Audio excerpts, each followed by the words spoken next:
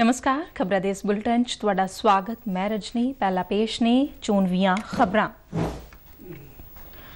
ਪ੍ਰਧਾਨ ਮੰਤਰੀ ਨਰਿੰਦਰ ਮੋਦੀ ਸ਼ੰਘਾਈ ਸਹਿਯੋਗ ਸੰਗਠਨ ਦੇ ਸਿਖਰ ਸੰਮੇਲਨ ਵਿੱਚ ਭਾਗ ਲੈਣ ਲਈ ਸਮਰਕੰਦ ਪਹੁੰਚੇ ਸੰਮੇਲਨ ਵਿੱਚ ਭਾਗ ਲੈਣ ਤੋਂ ਇਲਾਵਾ ਪ੍ਰਧਾਨ ਮੰਤਰੀ ਰੂਸੀ ਰਾਸ਼ਟਰਪਤੀ ਨਾਲ ਵੀ ਮੁਲਾਕਾਤ ਕਰਨਗੇ ਕੇਂਦਰੀ ਮੰਤਰੀ ਡਾਕਟਰ ਜਤਿੰਦਰ ਸਿੰਘ ਵਿਗਿਆਨ ਅਤੇ ਟੈਕਨੋਲੋਜੀ ਵਿਭਾਗ ਦਾ ਡੈਸ਼ਬੋਰਡ ਕੀਤਾ ਲਾਂਚ।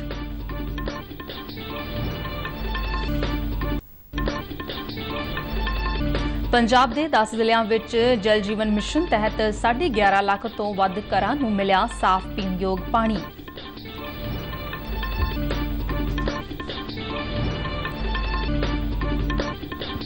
ਪੰਜਾਬ ਸਰਕਾਰ ਨੇ ਜੈਵਿਕ ਖਾਦ ਦੀ ਖਰੀਦ ਅਤੇ ਚੁਕਾਈ ਸੰਬੰਧੀ ਸਮਰੱਥ ਵਿਧੀ ਲਈ ਟਾਸਕ ਫੋਰਸ ਦਾ ਗਠਨ ਕੀਤਾ।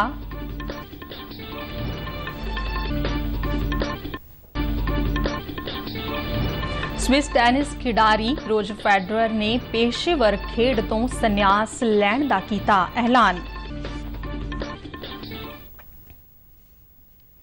ਹੁਣ ਖਬਰਾਂ ਵਿਸਥਾਰ ਨਾਲ।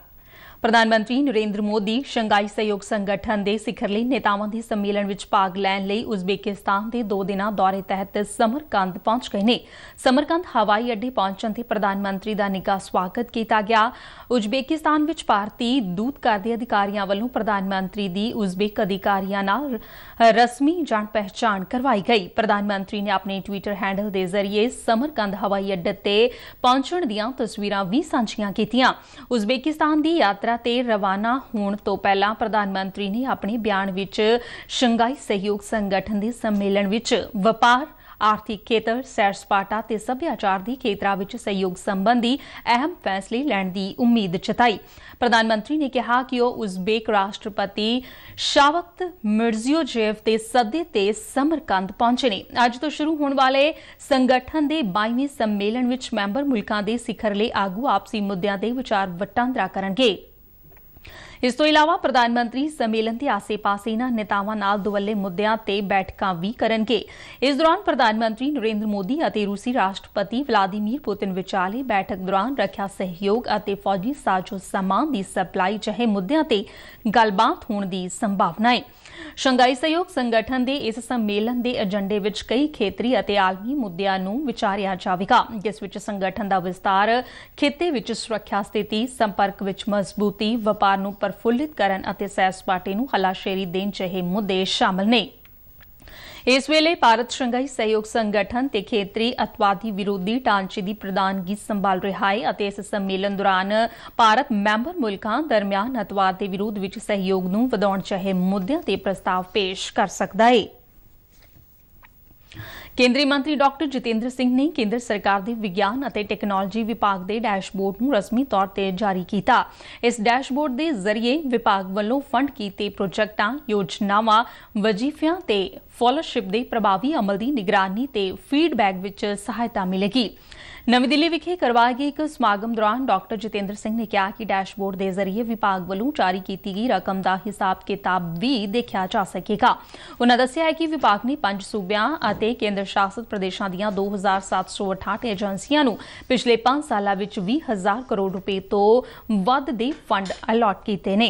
ਕੇਂਦਰੀ ਮੰਤਰੀ ਨੇ ਦੱਸਿਆ ਕਿ ਇਹ ਡੈਸ਼ਬੋਰਡ ਅਸਲ ਸਮੇਂ ਵਿੱਚ ਵੱਖ-ਵੱਖ ਸੂਬਿਆਂ ਵਿੱਚ ਚੱਲ ਰਹੀਆਂ ਯੋਜਨਾਵਾਂ ਅਤੇ ਪ੍ਰੋਗਰਾਮਾਂ ਦੀ ਜਾਣਕਾਰੀ ਵੀ ਉਪਲਬਧ ਕਰਵਾਏਗਾ।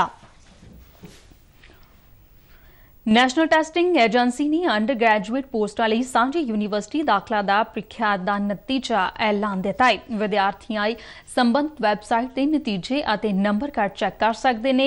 ਐਨਟੀਏ ਵੱਲੋਂ 15 ਜੁਲਾਈ ਤੋਂ 30 ਅਗਸਤ ਦਰਮਿਆਨ ਦੇਸ਼ ਭਰ ਦੇ 259 ਅਤੇ ਵਿਦੇਸ਼ ਦੇ 10 ਸ਼ਹਿਰਾਂ ਵਿੱਚ ਅੰਡਰ ਗ੍ਰੈਜੂਏਟ ਪੋਸਟਾਂ ਵਿੱਚ ਦਾਖਲੇ ਲਈ ਪ੍ਰੀਖਿਆ ਕਰਵਾਈ ਗਈ ਸੀ। ਜਿਸ ਲਈ 14,90,000 ਤੋਂ ਵੱਧ ਵਿਦਿਆਰਥੀਆਂ ਨੇ ਰਜਿਸਟ੍ਰੇਸ਼ਨ ਕਰਵਾਈ ਅਤੇ 9,68,000 ਦੇ ਕਰੀਬ ਵਿਦਿਆਰਥੀ ਪ੍ਰੀਖਿਆ ਵਿੱਚ ਬੈਠੇ।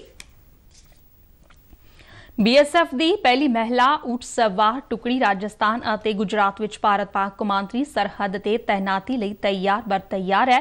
ਬੀਐਸਐਫ ਬਿਕਾਨੇਰ ਦੇ ਡੀਆਈਜੀ ਪੁਸ਼ਪੇਂਦਰ ਸਿੰਘ ਰਾਠੌਰ ਨੇ ਦੱਸਿਆ ਹੈ ਕਿ ਮਹਿਲਾ ਜਵਾਨਾਂ ਦੀ ਇਹ ਪਹਿਲੀ ਟੁਕੜੀ 1 ਦਸੰਬਰ ਨੂੰ ਮਨਾਏ ਜਾਣ ਵਾਲੇ ਬੀਐਸਐਫ ਦੇ ਸਥਾਪਨਾ ਦਿਵਸ ਦੇ ਸਮਾਗਮਾਂ ਵਿੱਚ ਭਾਗ ਲਵੇਗੀ।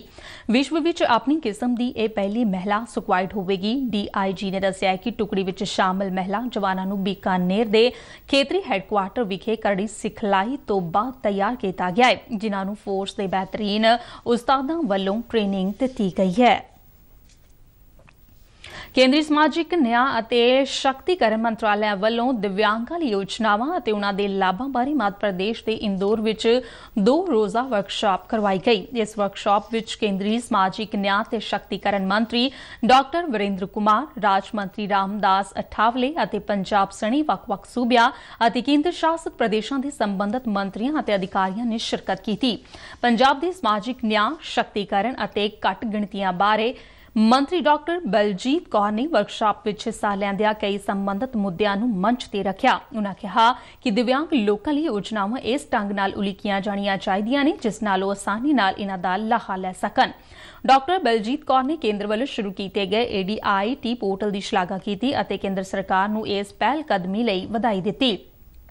ਇਸ ਪਲੇਟਫਾਰਮ ਦੇ ਜ਼ਰੀਏ ਦਿਵਿਆਂਗ ਇੱਕ ਮੰਚ ਤੇ ਸਾਰੀਆਂ ਸਹੂਲਤਾਂ ਹਾਸਲ ਕਰ ਸਕਣਗੇ। ਪੰਜਾਬ ਦੇ 10 ਜ਼ਿਲ੍ਹਿਆਂ ਨੇ ਕੇਂਦਰ ਸਰਕਾਰ ਦੇ ਜਲ ਜੀਵਨ ਮਿਸ਼ਨ ਹਰ ਘਰ ਜਲ ਦੇ ਤਹਿਤ ਸਾਰੇ ਪਿੰਡੂ ਘਰਾਂ ਨੂੰ ਸਾਫ਼ ਅਤੇ ਸੁਰੱਖਿਅਤ ਪਾਣੀ ਦੀ ਸਹੂਲਤ ਉਪਲਬਧ ਕਰਵਾਈ ਹੈ। ਇਸ ਪ੍ਰਾਪਤੀ ਲਈ ਸੂਬੇ ਦੇ ਜਲ ਸਪਲਾਈ ਅਤੇ ਸੈਨੀਟੇਸ਼ਨ ਮੰਤਰੀ ਬ੍ਰਹਮ ਸ਼ੰਕਰ ਜਿੰਪਾ ਨੇ ਵਿਭਾਗ ਦੇ 15 ਇੰਜੀਨੀਅਰਾਂ ਨੂੰ ਵਿਸ਼ੇਸ਼ ਤੌਰ ਤੇ ਸਨਮਾਨਿਤ ਕੀਤਾ। ਚੰਡੀਗੜ੍ਹ ਵਿਖੇ ਮਹਾਤਮਾ ਗਾਂਧੀ ਰਾਜ ਲੋਕ ਪ੍ਰਸ਼ਾਸਨ ਸੰਸਥਾ ਵਿਖੇ ਇੰਜੀਨੀਅਰਸ ਦਿਵਸ ਮੌਕੇ ਜਲ ਸਪਲਾਈ ਮੰਤਰੀ ਨੇ ਵਿਭਾਗ ਦੇ ਬਾਕੀ ਅਧਿਕਾਰੀਆਂ ਅਤੇ ਕਰਮਚਾਰੀਆਂ ਨੂੰ ਵੀ ਵਧਾਈ ਦਿੱਤੀ।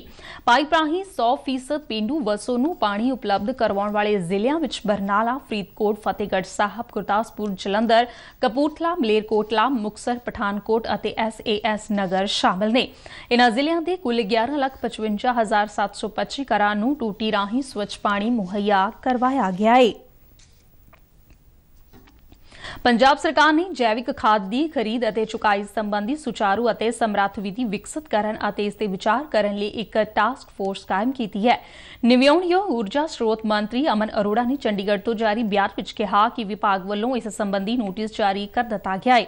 ਵਿਭਾਗ ਦੇ ਵਧੀਕ ਮੁੱਖ ਸਕੱਤਰ ਏ ਵੇਣੂ ਪ੍ਰਸਾਦ ਨੂੰ ਟਾਸਕ ਫੋਰਸ ਦੇ ਚੇਅਰਮੈਨ ਨਿਯੁਕਤ ਕੀਤਾ ਗਿਆ ਹੈ। ਮੰਤਰੀ ਨੇ ਕਿਹਾ ਕਿ ਸਰਕਾਰ ਸੂਬੇ ਵਿੱਚ ਖੇਤੀਬਾੜੀ ਬਾਗਬਾਨੀ ਤੇ ਫੁੱਲਾਂ ਦੀ ਕਾਸ਼ਤ ਵਿੱਚ ਜੈਵਿਕ ਖਾਦ ਦੀ ਵਰਤੋਂ ਪ੍ਰਫੁੱਲਿਤ ਕਰੇਗੀ। ਉਹਨਾਂ ਕਿਹਾ ਕਿ ਇਸ ਦੀ ਵਰਤੋਂ ਜ਼ਮੀਨ ਦੀ ਉਪਜਾਊ ਸ਼ਕਤੀ ਵਧਾਉਣ ਦੇ ਨਾਲ-ਨਾਲ ਫਸਲਾਂ ਦੀ ਗੁਣਵੱਤਾ ਵਿੱਚ ਵਾਧਾ ਕਰੇਗੀ, ਜਿਸ ਨਾਲ ਸਥਾਨਿਕ ਉਦਯੋਗਾਂ ਨੂੰ ਹਲਾਸ਼ੇਰੀ ਮਿਲੇਗੀ। ਪੰਜਾਬ ਵਿੱਚ ਝੋਨੇ ਦੀ ਪਰਾਲੀ ਨੂੰ ਖੇਤਾਂ ਵਿੱਚ ਸਾੜਨ ਦੀ ਬਜਾਏ ਬਾਲਣ ਵਜੋਂ ਵਰਤਣ ਲਈ ਵੱਖ-ਵੱਖ ਪਹਿਲੂਆਂ ਤੇ ਕੰਮ ਕੀਤਾ ਜਾ ਰਿਹਾ ਹੈ। ਸੂਬੇ ਦੇ ਵਾਤਾਵਰਣ ਅਤੇ ਵਿਗਿਆਨ ਟੈਕਨੋਲੋਜੀ ਮੰਤਰੀ ਗੁਰਮੀਤ ਸਿੰਘ ਮੀਥਿਅਰ ਨੇ ਫਤਿਹਗੜ੍ਹ ਸਾਹਿਬ ਦੇ ਸ਼ਾਹਪੁਰ ਵਿੱਚ ਲੱਗੀ ਪਰਾਲੀ ਤੋਂ ਬਿਜਲੀ ਪੈਦਾ ਕਰਨ ਵਾਲੇ ਪ੍ਰੋਜੈਕਟ ਦਾ ਦੌਰਾ ਕੀਤਾ। ਉਨ੍ਹਾਂ ਕਿਹਾ ਕਿ ਸਰਕਾਰ ਵੱਲੋਂ ਖੇਤਾਂ ਵਿੱਚ ਪਰਾਲੀ ਸਾੜਨ ਦੇ ਹੋਰ ਬਦਲ ਖੋਜਣ ਅਤੇ ਵਿਗਿਆਨਕ ਢੰਗ ਨਾਲ ਇਸ ਦੇ ਨਿਪਟਾਰੇ ਦੇ ਨਾਲ-ਨਾਲ ਕਿਸਾਨਾਂ ਦੀ ਆਮਦਨ ਦੇ ਸੋਮੇ ਵਧਾਉਣ ਦਾ ਯਤਨ ਕੀਤਾ ਜਾ ਰਿਹਾ ਹੈ। ਉਨ੍ਹਾਂ ਕਿਹਾ ਕਿ ਇਸ ਪ੍ਰੋਜੈਕਟ ਨਾਲ ਕਿਸਾਨ ਇੱਕ ਏਕੜ ਰਕਬੇ ਵਿੱਚੋਂ ਪਰਾਲੀ ਦੇ ਜ਼ਰੀਏ 3000 ਰੁਪਏ ਕਮਾ ਸਕਦੇ ਨੇ। ਪੰਜਾਬ ਵਿੱਚ ਝੋਨੇ ਦੀ ਕਾਸ਼ਤ ਨਾਲ ਹਰੇਕ ਸੀਜ਼ਨ ਦੌਰਾਨ ਤਕਰੀਬਨ 20 ਮਿਲੀਅਨ ਟਨ ਝੋਨੇ ਦੀ ਪਰਾਲੀ ਪੈਦਾ ਹੁੰਦੀ ਹੈ, ਜਿਸ ਦੇ ਨਿਪਟਾਰੇ ਲਈ ਸੂਬੇ ਦੇ ਬਾਕੀ ਹਿੱਸਿਆਂ ਵਿੱਚ ਵੀ ਪਰਾਲੀ ਵਾਲੇ ਬਿਜਲੀ ਪਲਾਟ ਲਗਾਉਣ ਤੇ ਵਿਚਾਰ ਕੀਤਾ ਜਾ ਰਿਹਾ ਹੈ।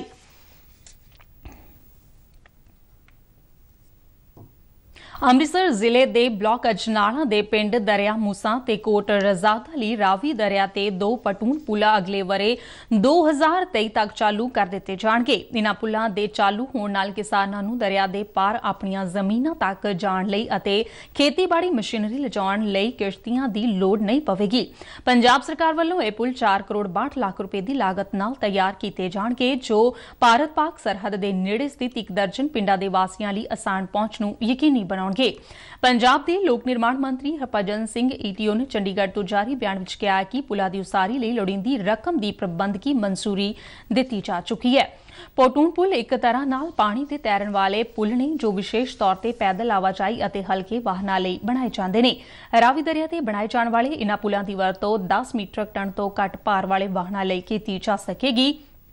ਅਤੇ ਸਹੂਲਤ ਸਾਲ ਵਿੱਚ 9 ਮਹੀਨਿਆਂ ਦੀ ਉਪਲਬਧ ਹੋਵੇਗੀ। ਮਾਨਸੂਨ ਸੀਜ਼ਨ ਦੌਰਾਨ ਇਨ੍ਹਾਂ ਪੁਲਾਂ ਨੂੰ ਹਟਾ ਕੇ ਸੁਰੱਖਿਅਤ ਰੱਖਿਆ ਜਾਵੇਗਾ। ਦੁਨੀਆ ਦੇ ਮਹਾਨ ਟੈਨਿਸ ਖਿਡਾਰੀਆਂ ਵਿੱਚ ਸ਼ਾਮਲ ਰੋਜਰ ਫੈਡਰਰ ਨੇ ਪੇਸ਼ੇਵਰ ਟੈਨਿਸ ਤੋਂ ਸੰਨਿਆਸ ਲੈਣ ਦਾ ਐਲਾਨ ਕੀਤਾ ਹੈ ਸਵਿਸ ਖਿਡਾਰੀ ਵੱਲੋਂ ਅਗਲੇ ਹਫ਼ਤੇ ਲੇਵਰ ਕੱਪ 2022 ਦੀ ਸਮਾਪਤੀ ਤੋਂ ਬਾਅਦ ਆਪਣੇ ਆਪ ਨੂੰ ਪੇਸ਼ੇਵਰ ਟੈਨਿਸ ਤੋਂ ਵੱਖ ਕਰ ਲਿਆ ਜਾਵੇਗਾ। ਫੈਡਰਰ ਨੇ ਆਪਣੇ ਸੰਨਿਆਸ ਬਾਰੇ ਟਵੀਟ ਰਾਹੀਂ ਜਾਣਕਾਰੀ ਦਿੱਤੀ ਅਤੇ ਇੱਕ ਵੱਡਾ ਨੋਟ ਲਿਖ ਕੇ ਆਪਣੇ ਪ੍ਰਸ਼ੰਸਕਾਂ ਤੇ ਖੇਡ ਪ੍ਰੇਮੀਆਂ ਨੂੰ ਸੰਨਿਆਸ ਲੈਣ ਦੇ ਖਿਆਲ ਤੋਂ ਜਾਣੂ ਕਰਵਾਇਆ। ਫੈਡਰਰ ਹੁਣ ਤੱਕ ਆਪਣੇ 24 ਸਾਲਾਂ ਦੇ ਖੇਡ ਕੈਰੀਅਰ ਵਿੱਚ 1500 ਤੋਂ ਵੱਧ ਮੈਚ ਖੇਡ ਚੁੱਕੇ ਨੇ। ਫੈਡਰਰ ਨੇ ਕਿਹਾ ਕਿ ਟੈਨਿਸ ਨੇ ਉਹਨਾਂ ਨੂੰ ਉਹਨਾਂ ਦੇ ਸੁਪਨਿਆਂ ਤੋਂ ਕਿਤੇ ਵੱਧ ਦਿੱਤਾ ਹੈ ਉਹਨਾਂ ਆਪਣੇ ਪਰਿਵਾਰਕ ਮੈਂਬਰਾਂ ਤੇ ਹੋਰ ਸਹਿਯੋਗੀਆਂ ਦਾ ਵੀ ਧੰਨਵਾਦ ਕੀਤਾ। ਇਸ ਦੇ ਨਾਲ ਹੀ ਖਬਰਾਂ ਦਾ ਇਹ ਬੁਲੇਟਿਨ ਖਤਮ ਹੋਇਆ। ਦਿਓ ਆਗਿਆ। ਨਮਸਕਾਰ।